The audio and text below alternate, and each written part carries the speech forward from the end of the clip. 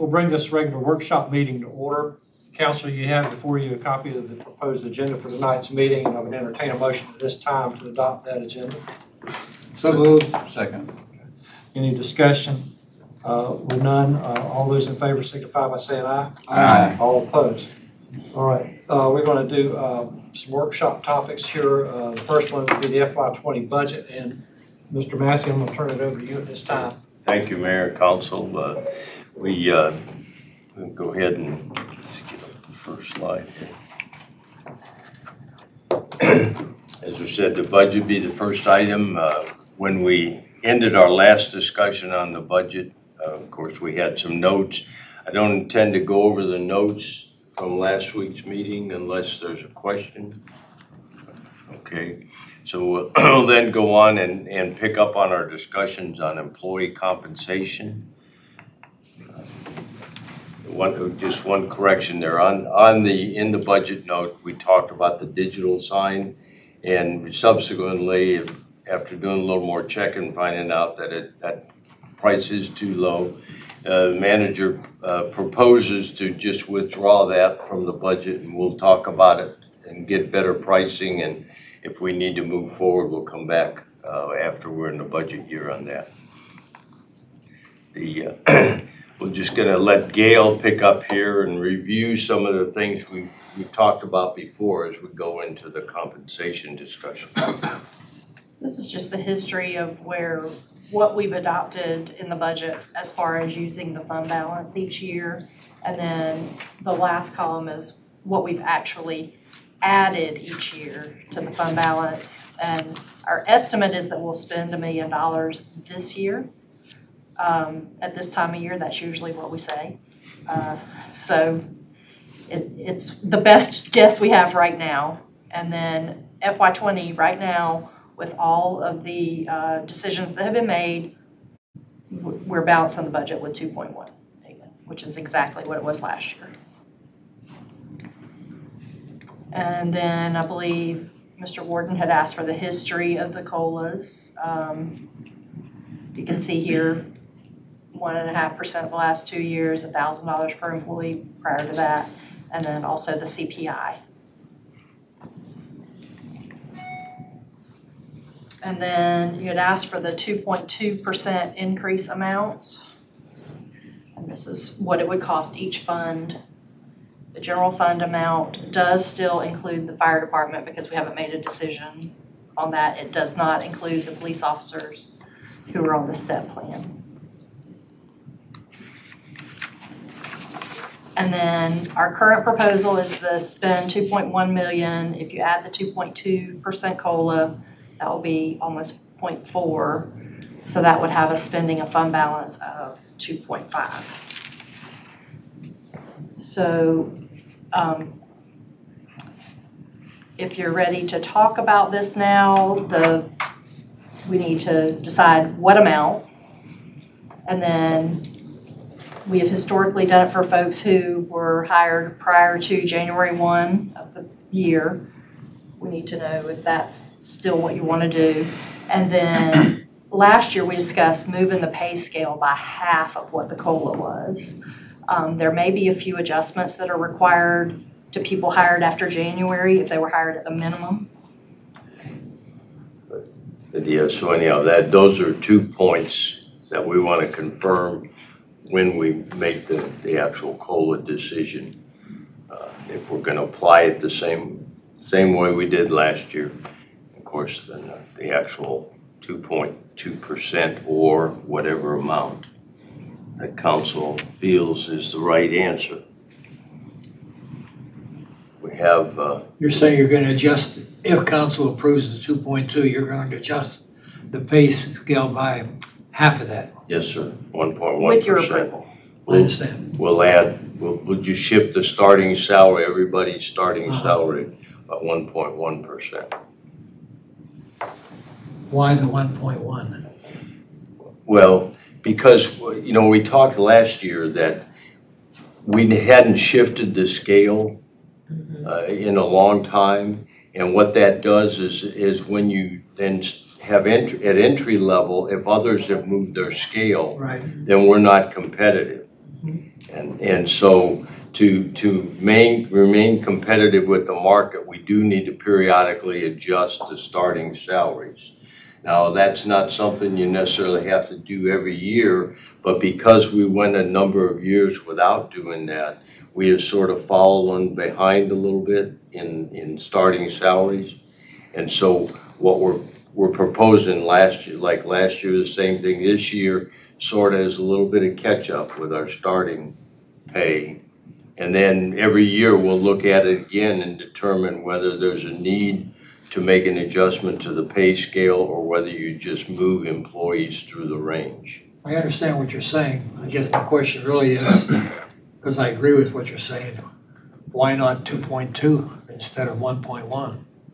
Well, Then, then if you're not careful, you start calling, causing compression. Tom, you want to come up here? Tom's our compensation person, Tom Sherwood. You know, he's the one that looks at the market. I thought we didn't do it last year. We, we didn't, we only did half the, Okay. Did one point one last year?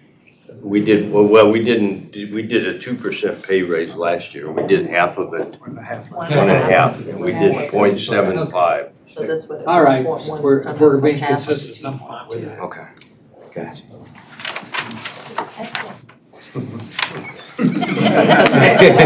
Welcome. And My question, the question I have is, uh, the, the CPI that you're going by, was that the year-end CPI? It's the December And it's at two point two. two point two? Mr. Mayor, I would move for the recommended increase in the COLA of 2.2% for persons who were employed uh, as of J January 1st, 2019 or later. No, I'm sorry, the other way around. Hmm, prior to. Uh, employed prior to January 1st, 2019. And you're proposing this in the way that he's describing, using half? scale. Half, yeah. Second. Motion and a second, discussion, is open. Hearing none, all in favor signify by saying aye. Aye. All opposed? Just one, Well, that- that motion takes- carries. That takes care of the, the compensation decision. Uh, Our next item is, last year we had, we had done, we set aside three hundred dollar, three hundred thousand dollar, I'm sorry, the fire step plan. We're gonna, we're gonna delay that. Like I said, there's more information we need to gather on, on the actual steps and, and the cost. And so the proposal is to, to basically do that analysis, come back in the October or September, August or September timeframe. And that some of the, you know, as we said, the adjustments for people that would be outside the step plan are still there uh, in the, in the budget. We would not adjust anybody's pay until we made the step decision. And then we would make it, and we would make that COLA adjustment retroactive. To That the was first also of using the three hundred thousand that was not, not obligated. Is that correct? Well, That, that would be the recommendation to add three hundred Was not thousand. used, so just basically rolling it over. We hadn't used it this year, so we, same amount as last year. And then use that to implement the fire plan if that's what the decision is.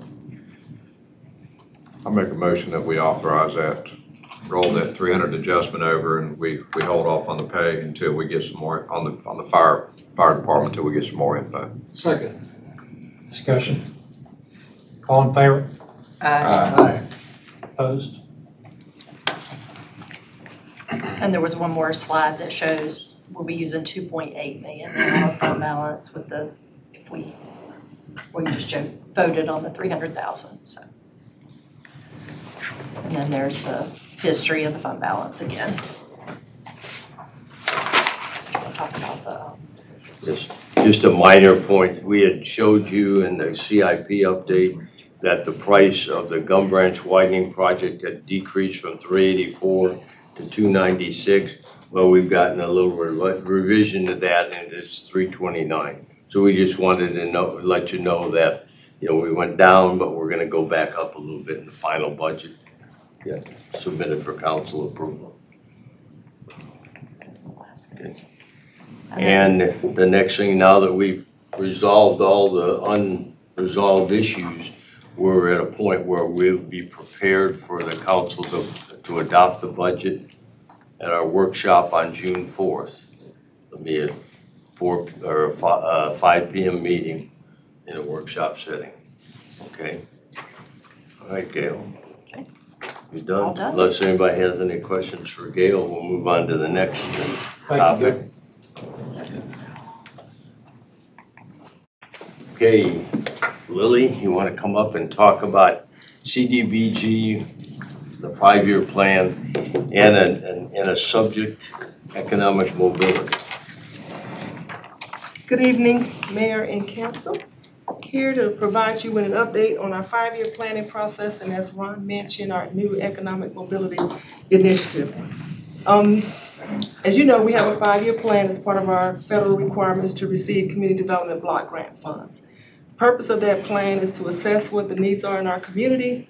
We work with citizen input to identify the goals and objectives that we hope to accomplish and develop effective strategies, strategies, and I want to focus in on that keyword effective, because that's going to mean a lot when we start talking about economic mobility.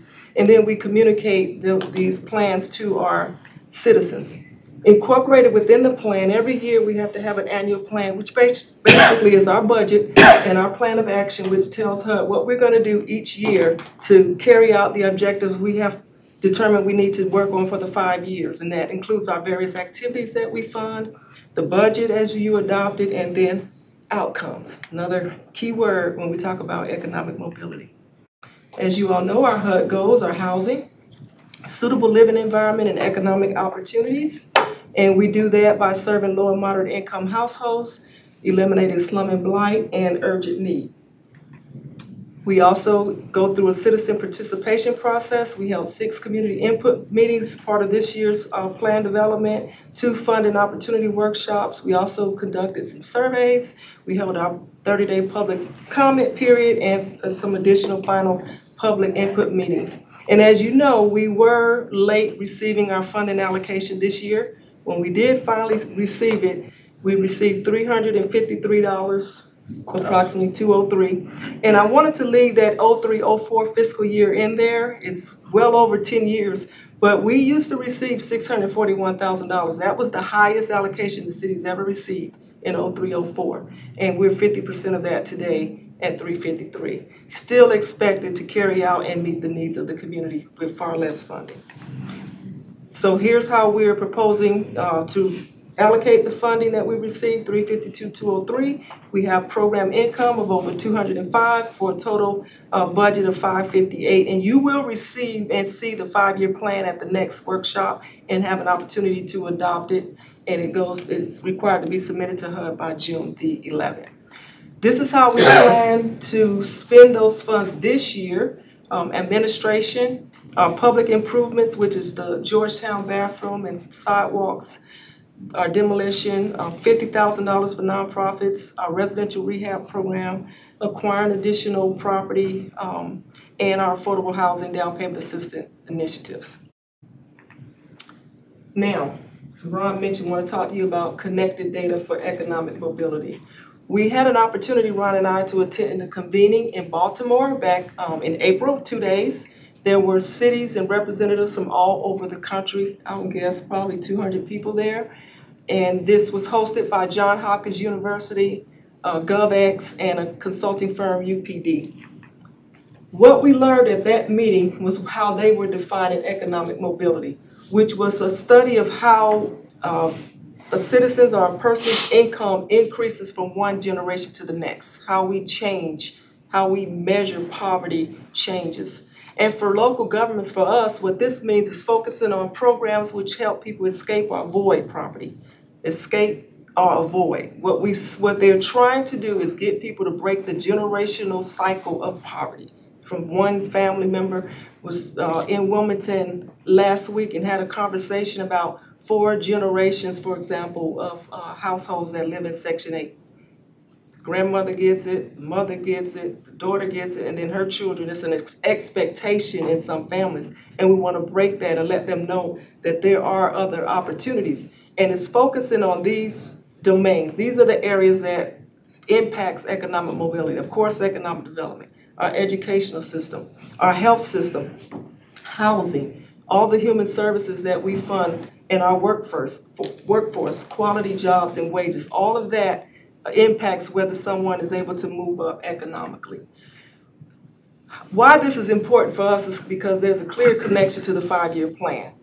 Again, we just read this. We want to assess the needs of the community, identify priorities, develop effective strategies, and communicate those strategies to our citizens. And we have a lot of partners that we work with. Locally, right now, we're already working with NC Serves, which is a network that's designed to serve veterans and military connected families.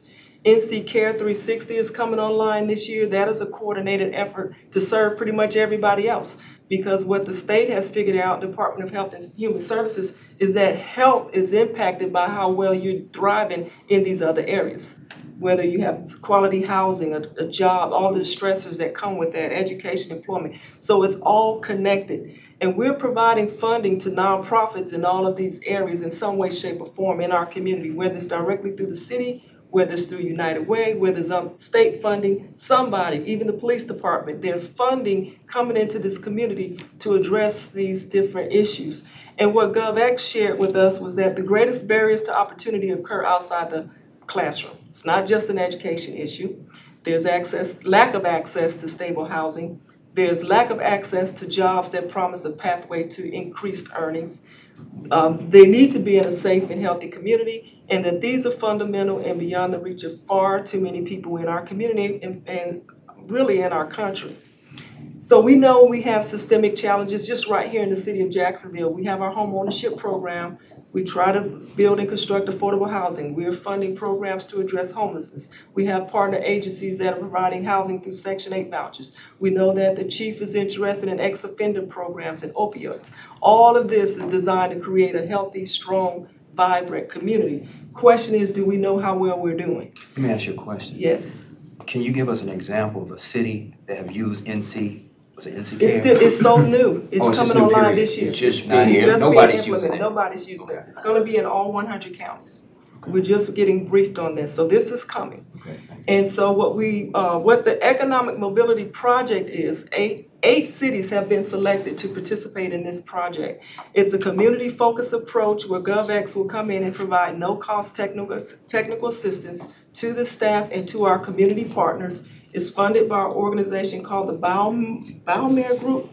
And it's a community of practice. They want to see this implemented and replicated all over the country, similar to what we saw with NC Serves. That's another form of a community of practice where you see them all over the region and all over the um, country. And what they will do is build our community and internal capacity to be able to really assess how well we're doing at moving people up economically. It will help us identify and address those systemic challenges that we all know we have with the intent of improving our community well-being. What they've asked us to do is for me to share this with you tonight and for Ron to share with you. And they, if we are interested as a city, they would send us an MOU, which we would ask Richard to sign with your approval, Dr. Woodruff, my apologies. It's a two-year process. It would run through the 2020. They would come in, there will be multiple site visits, multiple on-site trainings, not only with staff, but with whoever else in the community we want to invite. We know there are key partners, United Way, Coastal, the school system, um, East Carolina Human Services, our traditional partners, the homeless shelter, would all come in and have some conversations around this issue of economic mobility. And what we would walk away with was, would be the development of a sustainability plan. How do we continue to do this and assess our outcomes after they leave? It will strengthen us as a staff and will strengthen us as a community. And as you saw, saw with that federal funding going down, not just federal funding, all various pots of money are going down. Are we doing what we really need to do with what we have? You know, we getting the results we really want to get as a community. So that's a quick overview of our five-year plan. We have incorporated this language in the plan. Our five-year plan has what's called an anti-poverty strategy. we're gonna use this terminology, because really it's an expansion of an anti-poverty strategy, it's an economic mobility strategy. So we'll be, begin to use this language, we be, we will begin to communicate this language with our nonprofit partners. We have, we're already beginning to talk about training them on what we had learned when we went to Baltimore, when we got the email that we had an opportunity to receive this training. So we like to delay our internal training, and if you desire, and we bring in GovEx and their team, they would provide the training that we would then begin to measure or, or identify how, what we expect of the nonprofits that we fund, and eventually it spreads throughout the community. Ron, you want to? Know, See, GovEx is, is sort of a, a section, uh, like a center at, at Johns Hopkins. And, and it's funded basically uh, by uh, the former mayor of- of New York City, uh, the previous mayor, Bloomberg. by his foundation. Bloomberg. Bloomberg, yeah. And, and, and what their foundation's trying to encourage is getting the biggest bang for the buck. In other words, if you're trying to improve, you know, life in cities, and you're, you're bringing in resources from different areas like CDBG funding and, and some of the uh, grants that we get in that, and you're trying to systematically address the issue of poverty and economic mobility, you know, get people in better housing, that you really need data to look and determine how effective you're being.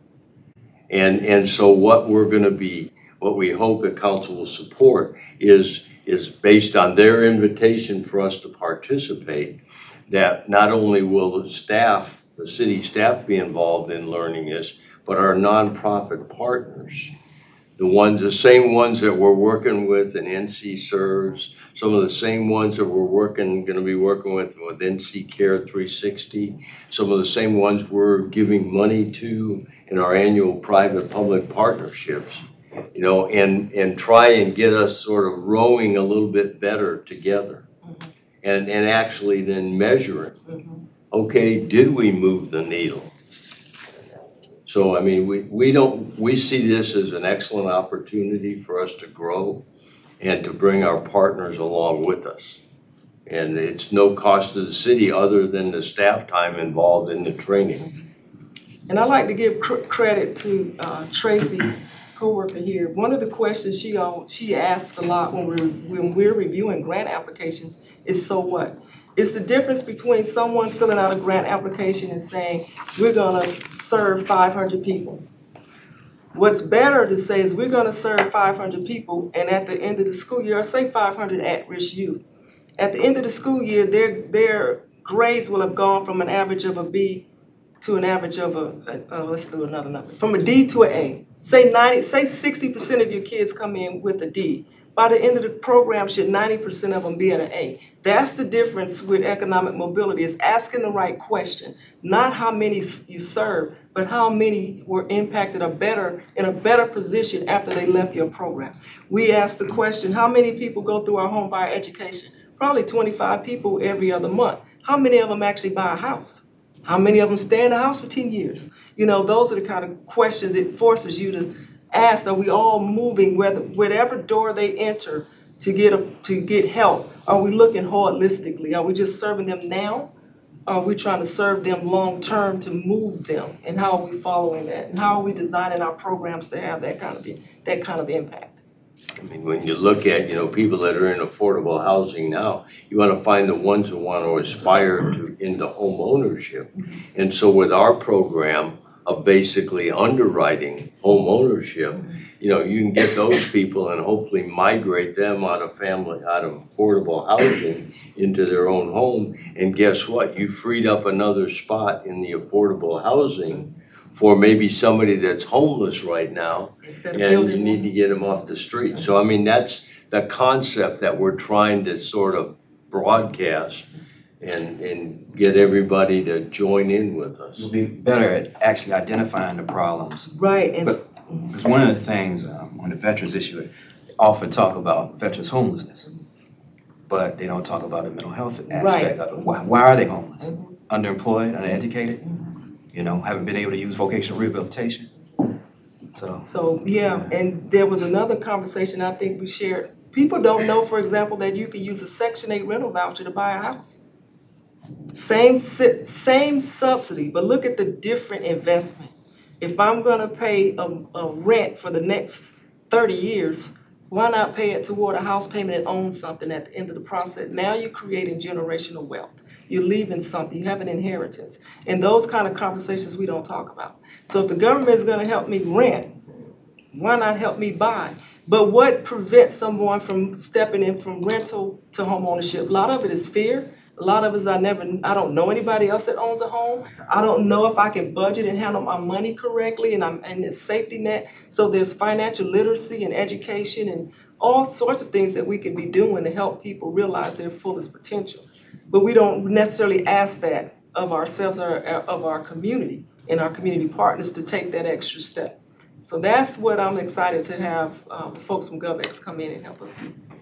See, and the thing is, it doesn't mean that the city has to do something like this. It just means we have to make sure that that is available, whether it's home buyer education courses or whatever. And so that's where our partners come in. Because we may decide, hey, partner, you know, that's something you're better equipped to do than we are. So we want you to do that and we'll do this. But, uh, I mean, so it- you lot- are, yeah, excuse me, researching better ideas to, uh, to capture data in the community That's itself, part of right? it, yes, that's part of what their research is designed to do and to help us understand how to capture data and help our partners understand how to capture. With the end goal that it all should be And leading utilizing it. the right data, not just number served, but impact type of data. I guess one, is, are there any questions about the five-year plan? Because we'll bring it to council meeting, next Next meeting week. for adoption. And, and it sounds like we're on board with pursuing a more systematic approach to economic mobility. And is council okay with us basically pursuing, uh, this, this agreement and training from the, uh, Who are the other demo cities? They have not told us. I asked that question, but I do know they're not in North Carolina. We're the only one in North Carolina. Now, I will tell you, they work with other cities on other programs. I know Fayetteville has worked with them, Cary, Raleigh, Durham. With uh, the so GovEx, they're gov- that they- GovEx Center. Yeah, there, I think there's eight other cities that are working with them basically on using data to make decisions and, and things like that. I think, I think that program they call is Smart Cities, Work cities, Work Cities. work cities. Yeah, Work Cities. And you can actually go to the website to see that. But this initiative is new, so we're one of the first to be, get an opportunity to participate. Lily, will there be an MOU that'll actually come back to council for them to review and? Yes. Okay. Yes, they wanted to know that we were interested, and they send the MOU and we get it to you and give you the review of that. Any other question? All forward. Okay, thank you. Thank you. Okay, next we, uh, gonna have, uh, our fire and emergency services folks. We, we've got an opportunity to, uh, to apply for a grant. We just wanna get, uh, council's permission. Sean, are you here? Yeah. Sean Hayes, our Assistant Fire Chief. Council, how's everybody doing this evening? Um, we're looking to apply for a grant through the Firehouse Subs Foundation. It's a public safety grant up to twenty-five thousand dollars, hundred percent funding, there's no matching funds. Um, what we're looking to apply for is an ATV that has a mounted patient transport unit in the back. We'll be able to utilize that for the festivals downtown, National Night Out, Oktoberfest. It'll provide us access to the running trail. If we ever do have someone going to a medical emergency down the running trail, it'll provide us quick access.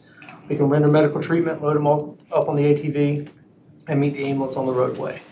Um, it can also be used after hurricanes to get into areas that maybe the roadways are blocked, our trucks can't get to.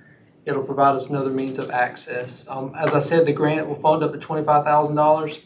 The total quote for the unit is just under twenty-four.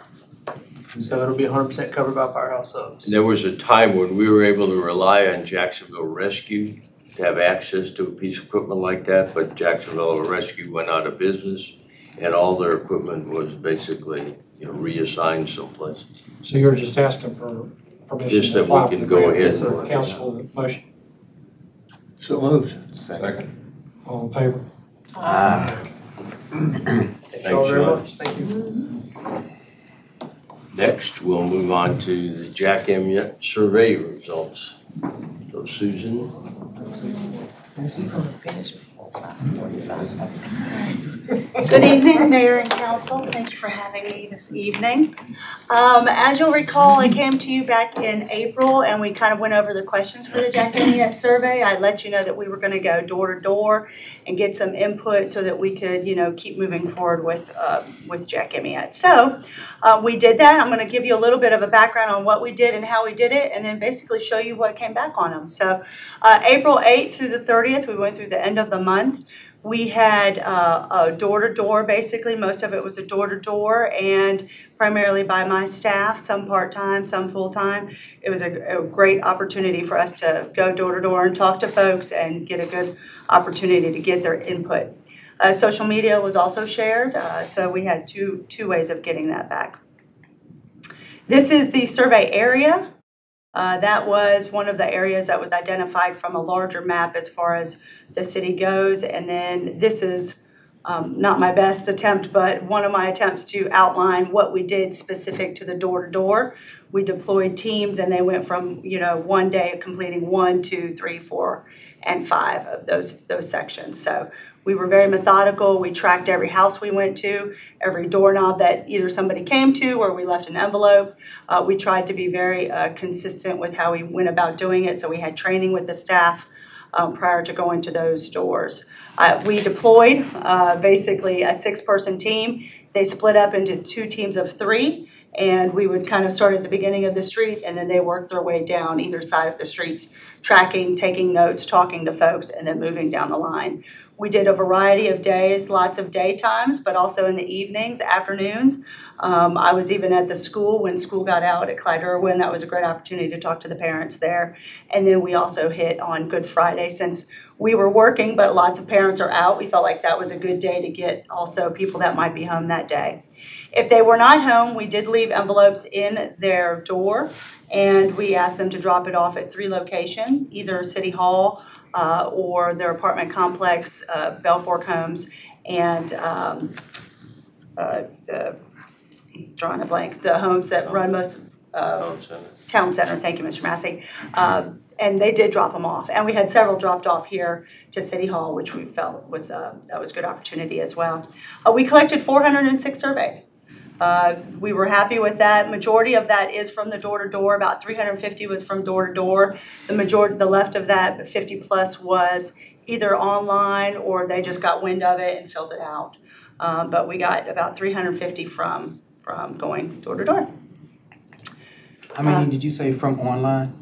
About 50, about give or take 50. We had a 406 completed.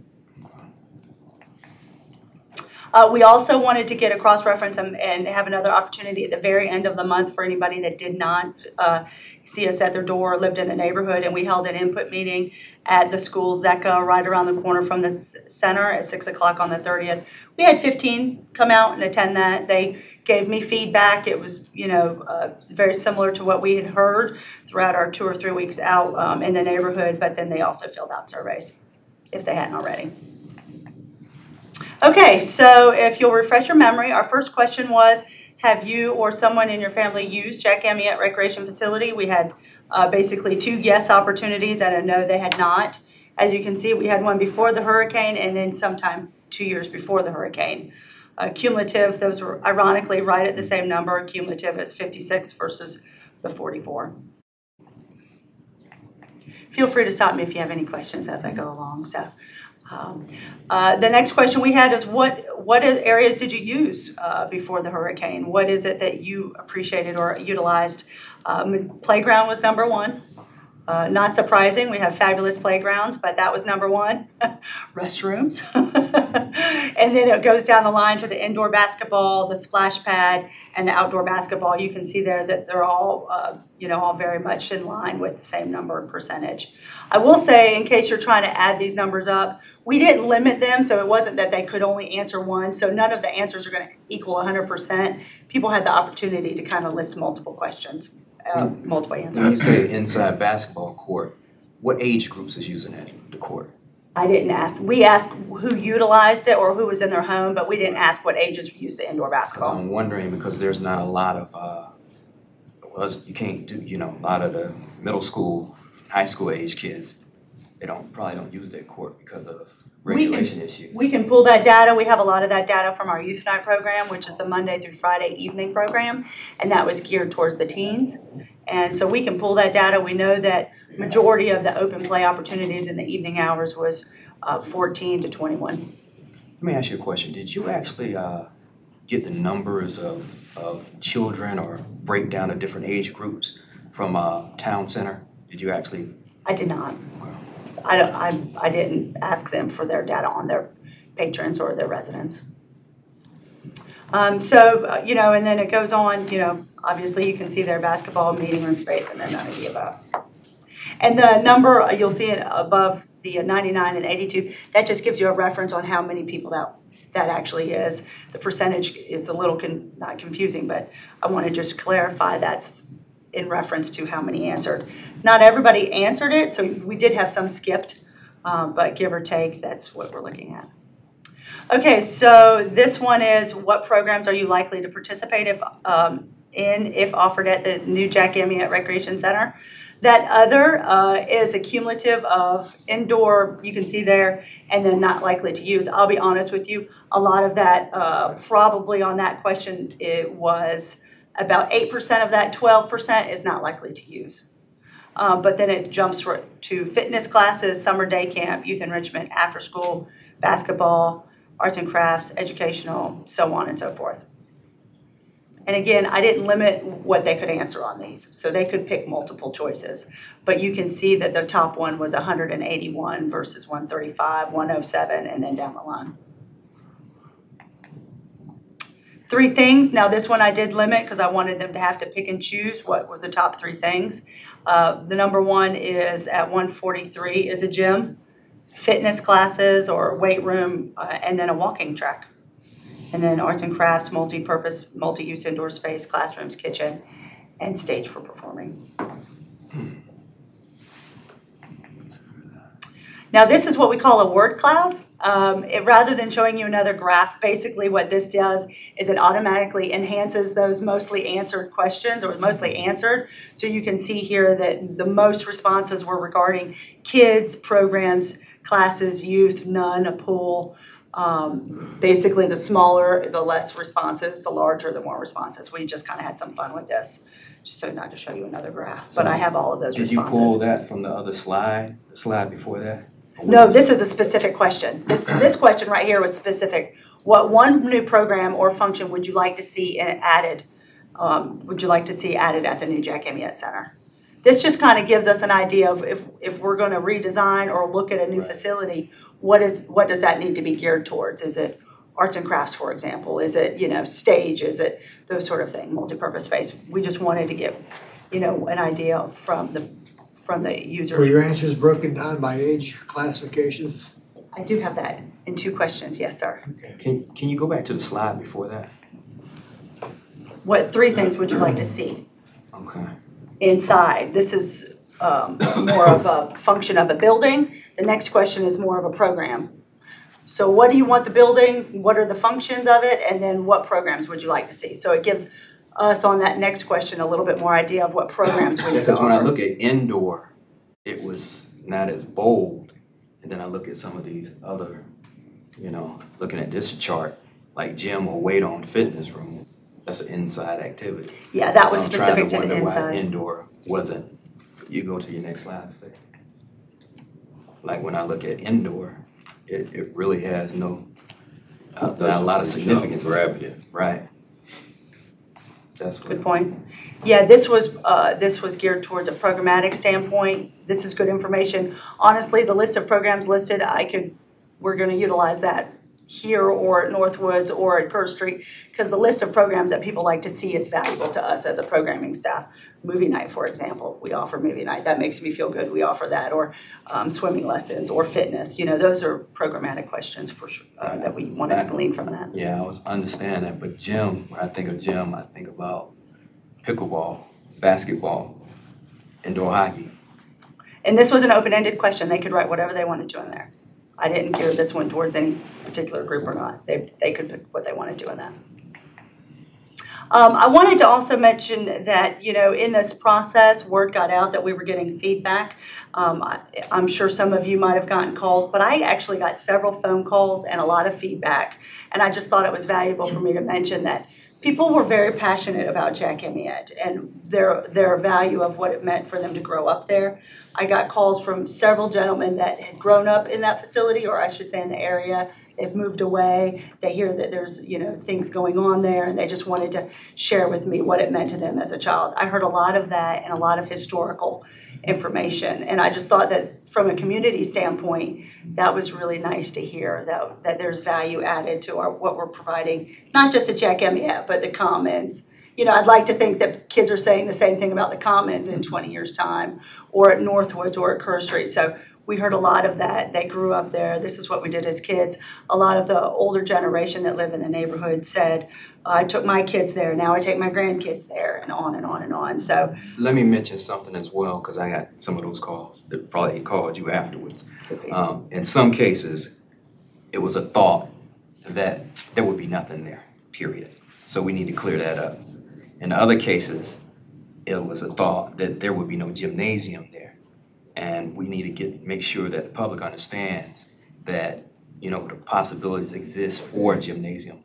And we will have some kind of functionality. Uh, we will have a recreation center at that, that place.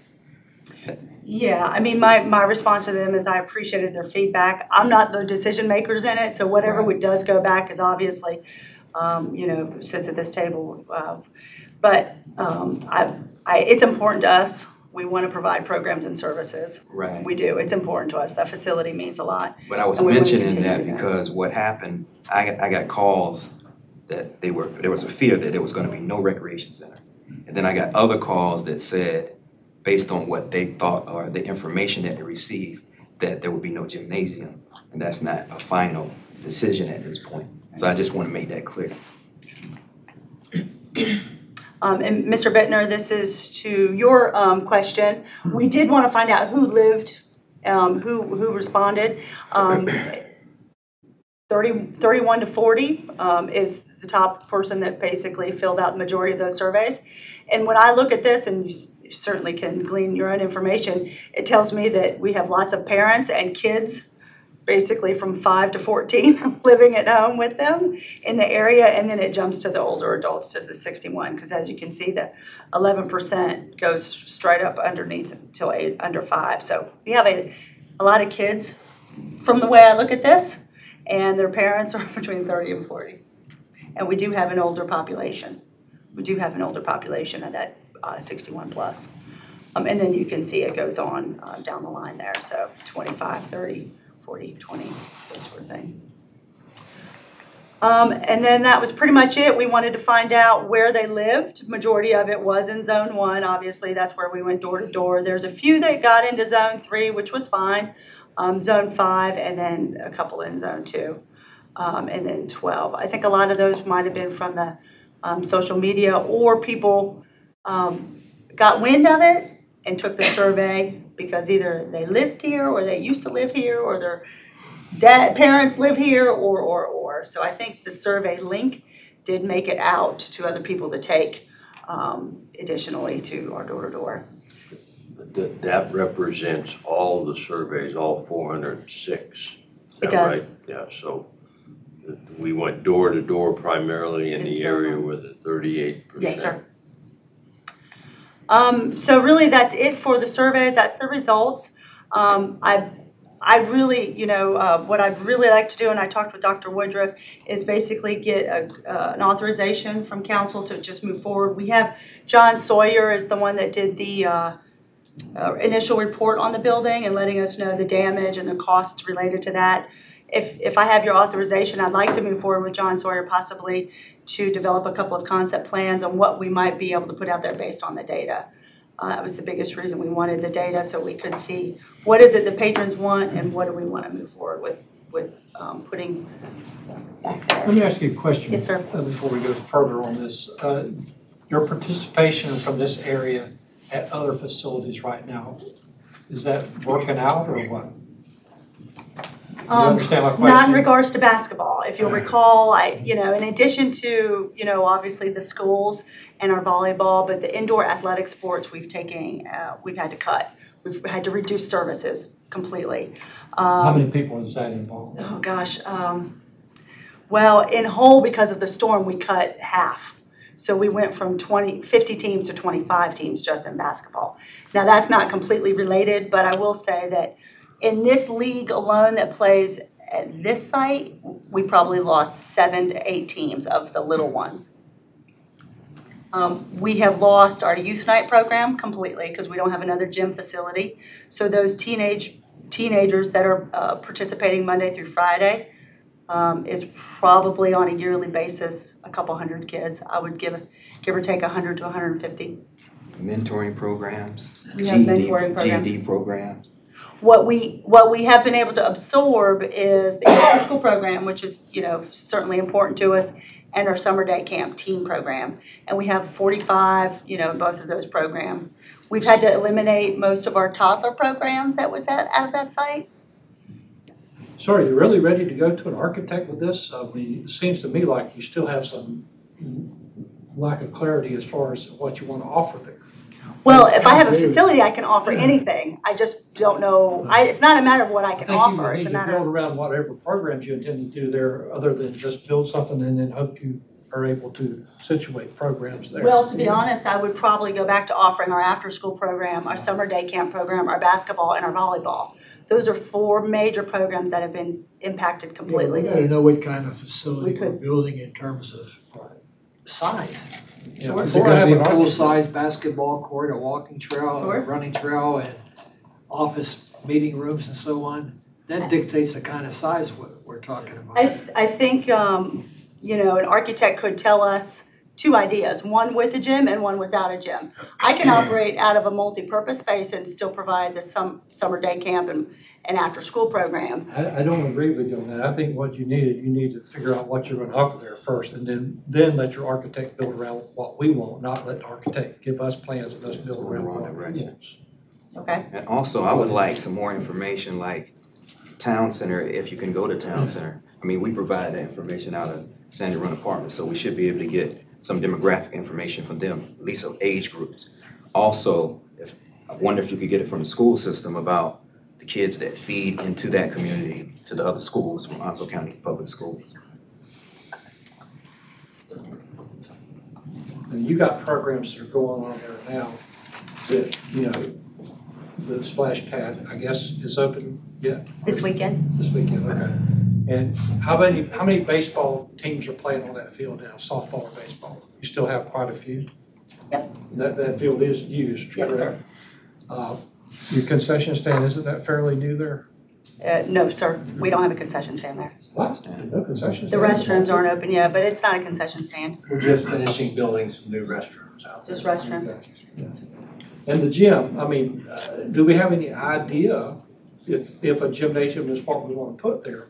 Do we have any idea what the cost would be to upfit something that would be regulation as you were talking about? I mean, these are things that we need to know.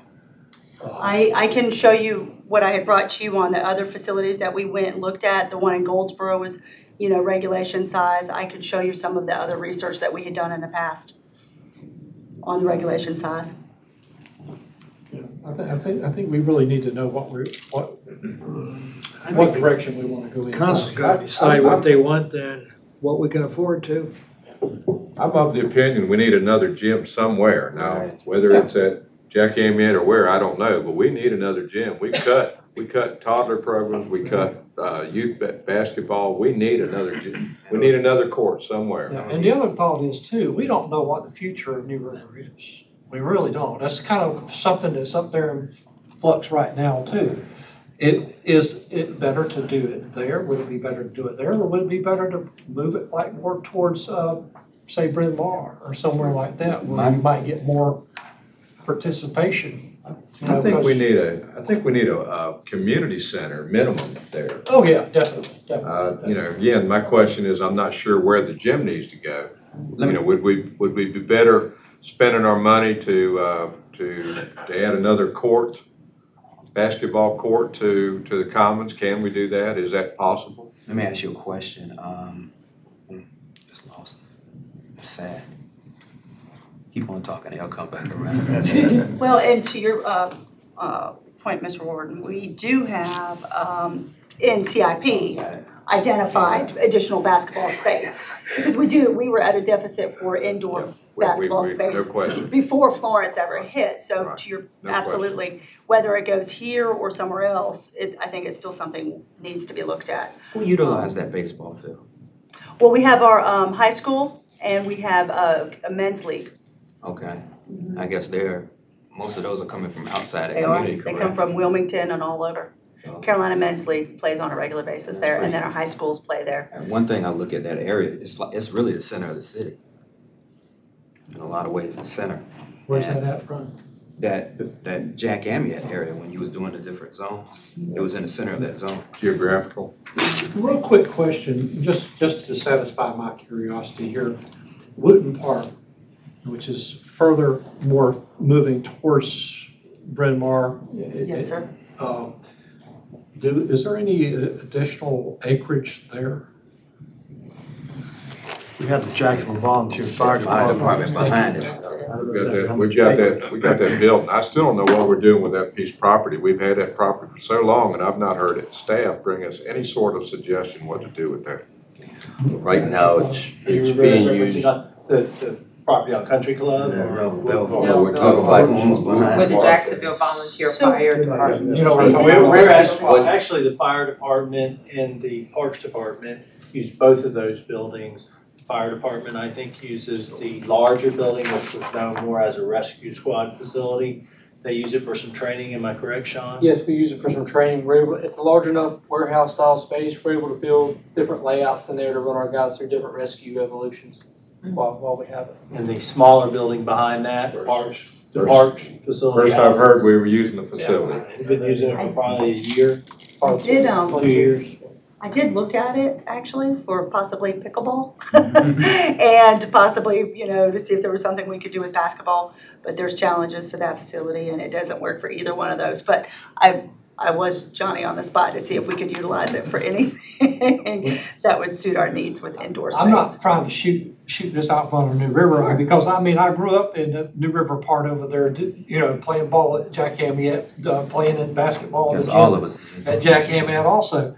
Uh, but, you know, with the limited amount of money that we have to work with nowadays, and we've been talking about trying to put something in Brynn Marr Country Club area, you know, over in those areas, uh, in, like in, uh, your particular ward over there, you know, maybe it's time to, to make that, uh, or consider it, not necessarily do it, but at least, uh, consider it. One of the Moving things it more I that, do wanna mention direction. too, because we're, we talk about economic development. If we take some, a gym out of that area, we could probably end up killing that going forward, just to mention it.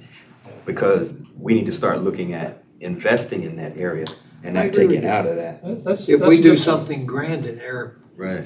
uh, it could be an economic incentive for new housing And, development. and then we're talking I about opportunity zones as well, so The if you don't concern have, I have is we don't have the space there.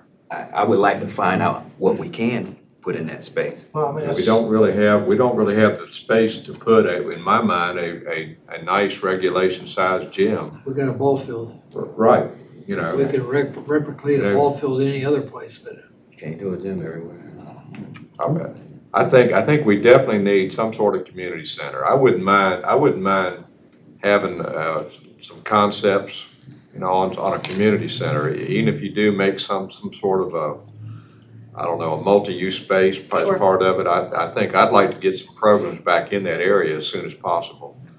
And I, and Well, it I'm not looked sure like, that. it- yeah, it looked like that was more the demand than anything. Yeah, I think so too. I think there's a need in that area for programs, and we need to get, we need to get something sooner rather than later on the programs. But I'm, I'm concerned about when this survey went out, and like I said, you haven't, we haven't even really looked at the, the sheer numbers and the ages. When it comes to the census tract, two, five and under are the ones that's primarily overlooked. So we don't even know that number. And we also talking, not talking about right now, but we're talking about going into the future. So I, I I think there's other things we need to consider and look at as well prior to making these decisions. But we could see what fits there. That's what I would like to do, is see what can fit in that area. That's what I'm, I'm thinking. I think, I'm thinking we're looking at just some sort of a community center to go back there, I think, based on the footprint. But, but again, I'm, I'm, I may be wrong, that's why I'd like to see some sort of concept. Yeah, that's what, that, that would work. That's what I'd like to To see. be able to see what can fit in that way. And we could, we could come up with different ideas about what can go there. I would like for you to think about what you want to put in there first and then determine what size, what size footprint that would involve and, you know, but But I would we- hate for you to spend money on, on a, on a design that you can't use. I think a lot of it for us depends on gym or no gym. I can, we will fill it up and utilize either one. So I can certainly come back to you and give you a list of programs that we're, we were gonna provide in that facility on, based off of those two options. I mean, I, I, um, I certainly have no problem doing that. And I totally agree with Mr. Wharton. I mean, the- the, at the least, there needs to be a community, you know, some kind of community. Sure. Oh, yeah, definitely. Multipurpose space. So- Very similar to what the schools have, and we've talked about that, you know, we have, uh, we utilize after-school programs and they all have a very large multipurpose space. Um, we can certainly look at that, and then I can, we can program that to the hilt. If we have a gym, and I don't know if a gym will fit, honestly, I, I really don't know, I think, you know, uh, uh, one idea that an architect could come back and say is, you can't put one, regulation-wise anyways, it's not even possible, but, um, you know, if we have that, then that just opens the possibilities on those programs as well, so. Let me mention something else. Yesterday, I was actually riding over just to look at Jack Amyette. And I ended up going by Clyde Erwin because a a group, AAU group was in that facility. Unfortunately, the, uh, I think it was Mr. uh, Jordan, who actually works for Clyde Erwin, but he also worked. Jordan. Yeah, mm-hmm. he works for Boys, Boys and Girls Club too. He also works for us, I think, Yeah. sometimes. Oh, wow, he's all over the place. But they had a, a, a bunch of kids, but they had more adults. And one of the things that they were talking about, the need for gymnasiums around the area. And they were, they, they were talking about the need for it in that area. And they weren't even living in that area. No one that was in that area, in that room, lived in the area, but they agreed with the, the possibility of the gym being there. So I think it's more information we need to gather. But I like the idea, of the concepts that can actually fit there, Sure. you know? What, what will fit there? You know, I think we all agree that, that we need more, more gymnasium space somewhere, whether it's there or somewhere, but we need some more. That's, once we take care of Jackie Amyette and find out, you know, does a, does a basketball court fit there? If it doesn't, then that becomes our next priority for the recreation, and I'm, in my mind, where can we, where can we create some more indoor opportunities for, for recreation?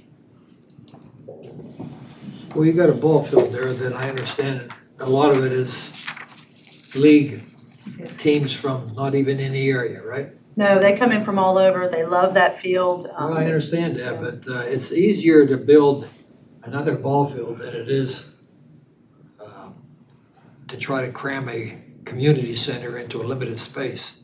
Okay, I'd, I'd rather see us, if we had to bu- expand into that ball field area, build a ball field someplace else and use that space. okay. It's all about use. And I don't think, I'm not comfortable just having an architect give us his concepts Or her. or her. Yes,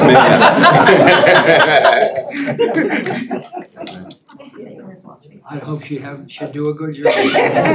Oh, of course. So do you have some idea what our expectations are? No. No, We're, we're giving her some mixed, We'll, uh, Y'all We'll, talking? we'll re, we'll review what options, we- you know, we can move forward with. And one thing I want Back to, and- I want to bring up too is that we have a area called Camp Johnson that has a lot of young men over there without facilities. And as we build our relationships with the base, that's something we might need to consider also when it comes to, uh, space over there. Yes, sir. Okay, Thank uh, if you have any questions on any of the survey, by all means, let me know. I'm happy to answer any other further questions or whatever needs to happen. Thank you very much. Good work. with. Thank you. Yeah, thank you. Mr. Massey, you have anything else? No, that's the last item on the agenda. You got a song and dance to occupy our next sixty minutes? Let, let's have a motion to adjourn. How's that? So moved. Second. All in favor? Aye. Thank you.